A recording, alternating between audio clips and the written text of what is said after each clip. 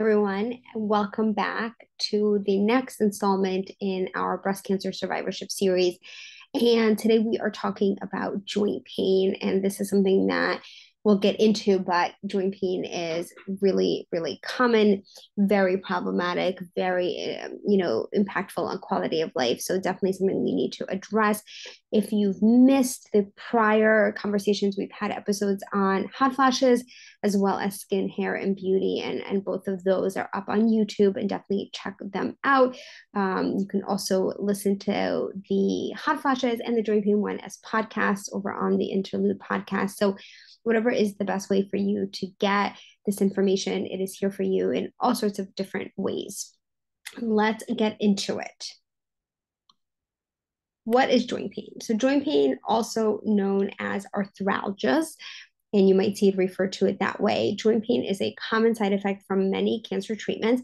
And we typically in breast cancer think of joint pain as coming from aromatase inhibitors, which are used for estrogen receptor positive breast cancer, but they can also be caused um, by other cancer treatments, so not just aromatase inhibitors, as well as from unrelated causes such as osteoarthritis and rheumatoid arthritis. And a point that I like to make is that sometimes you may have mild osteoarthritis and then you, let's say, get put on an aromatase inhibitor, or chemotherapy, and then together it's a lot, uh, you know, it's kind of cumulative and the symptoms get worse. So just kind of keeping in mind all the different components. Now, joint pain can occur throughout the body. We can see it in our hands, our feet, knees, hips, shoulders, lower back, and spine. So all of our can affect quality of life it can worsen other symptoms or side effects, and it can be mild or severe and really occurs on a spectrum. It can be associated not just with pain, but with limited range of movement, joint stiffness, joint swelling or tenderness, redness or warmth at a joint. And so, for some people, um, their joint pain manifests as they wake up, they get out of bed, they're a little bit stiff, and they, as they start to move around through the day, they kind of feel okay and they they don't feel like they're impaired in terms of quality of life in terms of movement. Whereas on the other side of the spectrum people who are not able to move they're not able to walk they're not able to go up a set of stairs because of that's how severe the symptoms are for them. Now as we previously had in our conversation with hot flashes we know that there are going to be both non-pharmacologic pharmacologic options as well as pharmacologic options for joint pain. And so before we just jump to pain medications, there's a lot of other things that we can do. And so I'm going to talk first about the non-medication options. And number one is going to be physical activity. This is both aerobic and strength training. And I know it can be hard if you have a lot of pain and discomfort, especially if moving just seems so daunting because you're in so much pain but I would start with low impact in a few minutes at a time. What do I mean by that? I tell my patients go down to the mailbox and come back. That's five minutes, right? That's not, that may be a lot if you are in so much pain that you're not used to doing that. Low impact is great. This is not the time to start running if you're having a lot of discomfort and you're not a runner. Um, swimming can be really, really helpful because that is so low impact um, gentle yoga, even chair yoga is a great, great resource for low impact activity. And the idea is just to start to increase that movement, that flexibility. Um, and so things don't feel as stiff. Now, if you're kind of on the milder end of it, then you might be able to do high impact, high intensity training. So it really is knowing your body, knowing where you're starting out from, and um, and and going from there heat or cold can work. Um, if a lot of times I get asked about infrared saunas, and I think that they, we know they can be really helpful. But if you are using an infrared sauna, you definitely want to make sure that you're monitoring for swelling. If you have a history of breast cancer and are at risk for lymphedema already have lymphedema. So you want to talk to your doctor before using a sauna. And this is something that I also actually recommend talking to your breast surgeon about in addition to the medical oncologist because they are the ones who did the surgery. They kind of know where things stand with your lymphedema a little bit better. Um, if you work with a lymphedema therapist, that's also a great person to reach out to and to ask. Massage can be really helpful. And there are a lot of programs out of cancer centers that have discounted massage services for patients. So I would absolutely ask about that. Acupuncture, I will say I personally have not had acupuncture, but the benefits of acupuncture I think are really understated. It is a non medication option and it can be so helpful and actually can help with things like hot flashes too. And so when you go for acupuncture, you know, ask around, get some referrals. Some um, acupuncturists are kind of more specialized in treating symptoms of cancer medications and cancer pain, and you know, tell them where what you're struggling with, and they can kind of tailor the, the acupuncture accordingly. Referral to physical medicine and rehabilitation, and or physical therapy. This is a big one, and physical medicine and rehabilitation is um, you know, set of specialized doctors that have special specific training in you know assessing your pain, assessing discomfort, and figuring out um, what's next. Do you need physical therapy? Do you need more intervention? You know, medications and things like that. So PM&R, physiatrists as they're known, really a fantastic tool. And then physical therapy and even occupational therapy, which is not on here. Um, a couple of weeks ago, I had Scott Capozza on the podcast.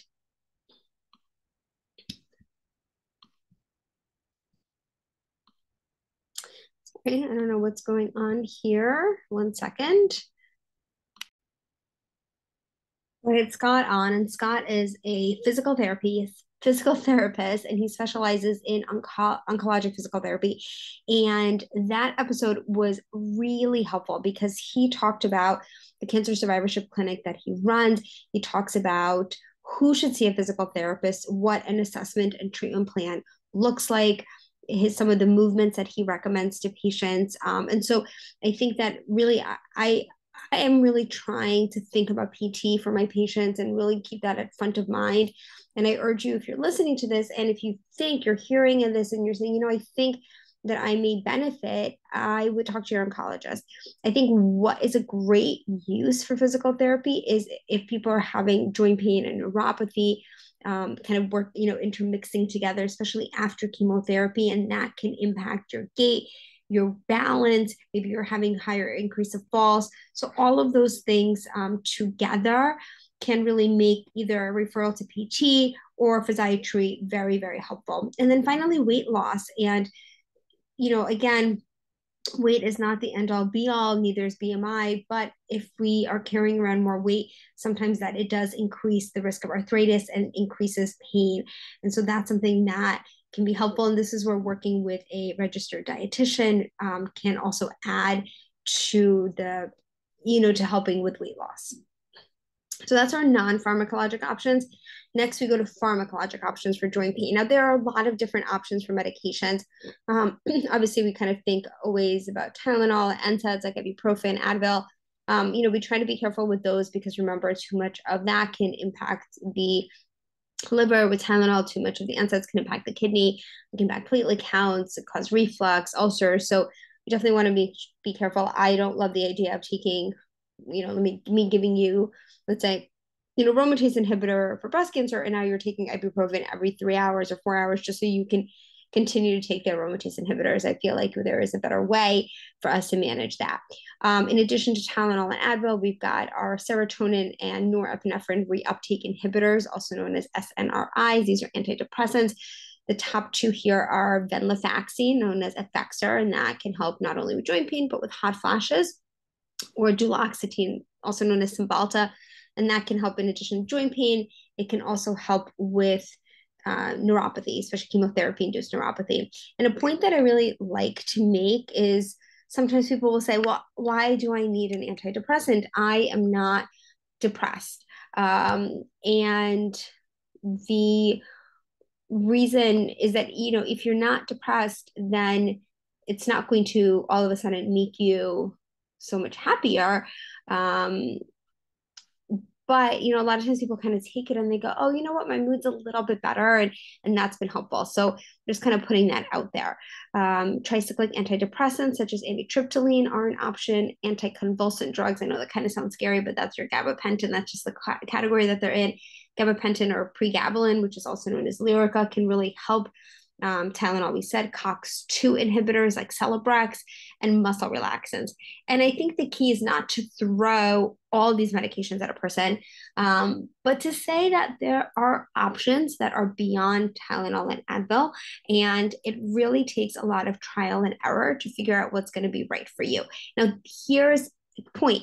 This is where your oncologist may not be the right person to manage that.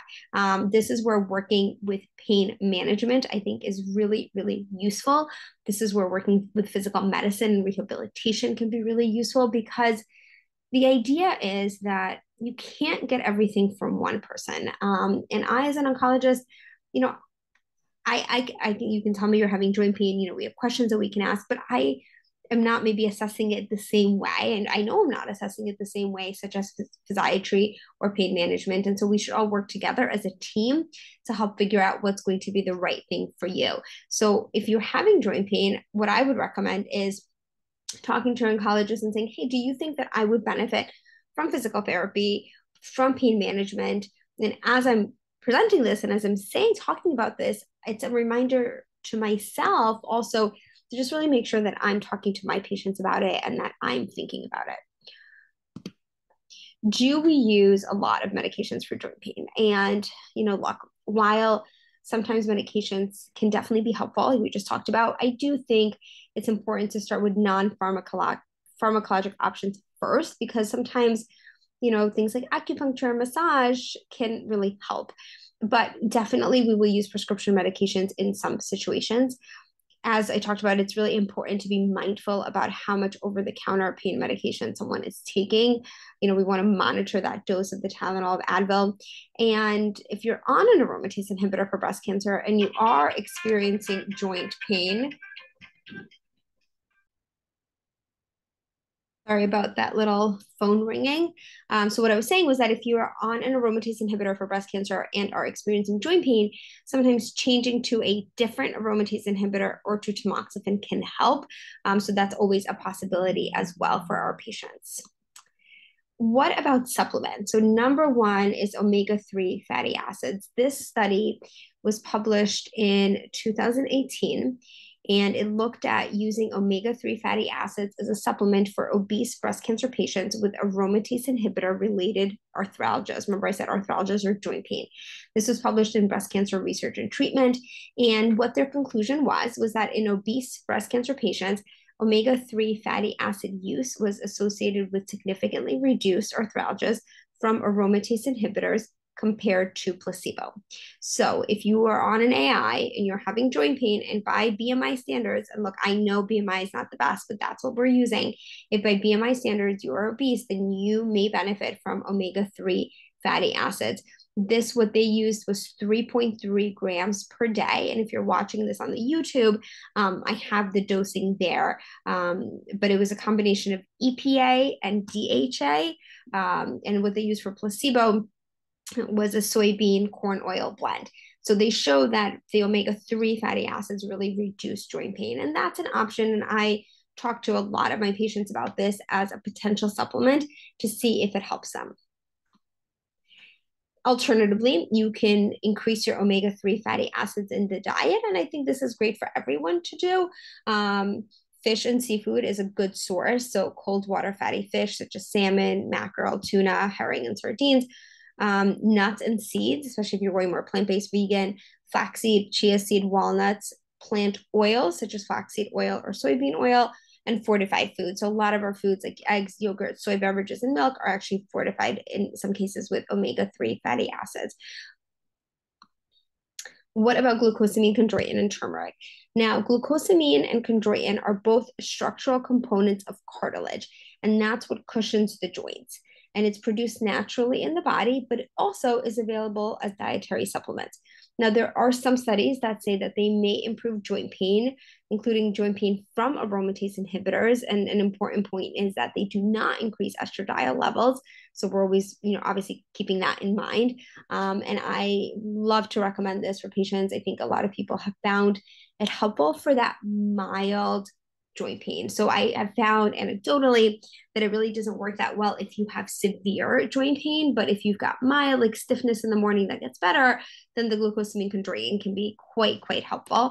And then um, turmeric can also relieve arthritis symptoms in some patients. Again, I see that more on the milder side.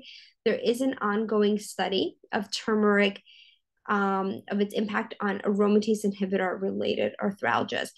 And so I love to see, I love seeing that we have we're start, starting starting to study these supplements, um, that we have data that you know we can point to things to say, look, this has been looked at and this can help you. Um, and I, I think that's really important. A key point is that you cannot take turmeric supplement if you're on tamoxifen. Personally, I am okay with my patients incorporating turmeric into their foods, um, but I always ask you to speak with your doctor about what they feel for you, but definitely not the supplement. Okay. What about testosterone for joint pain? And I talked about this a little bit in the hot flash episode as uh, discussion as well. Um, and so testosterone, there was a study looked at whether testosterone can help postmenopausal women with aromatase inhibitor induced arthralgias. And what it showed was whether you gave testosterone as a topical gel or as a pellet underneath the skin, there was no significant improvement in musculoskeletal symptoms from aromatase inhibitors. So, really, this kind of again further supports our not currently using testosterone for symptom management from breast cancer. Again, things may change, you know, things um, are always being studied and things are always evolving. So, in conclusion, um, both hot flashes and joint pain are very common side effects of cancer treatment. And I know a lot of the stuff that's we focused on with breast cancer was talking about the aromatase inhibitors because that's where kind of a lot of the the research is. Um, but you know, remember that joint pain can come from a number of factors. And again, here we're focusing on this this really conversation is on breast cancer survivorship. So that's why I'm not going too much into joint pain from chemotherapy. And when we think about kind of breast cancer survivorship, the aromatase inhibitors are what most often cause joint pain rather than things like you know Herceptin and Perjeta, which people take for a year and things like that.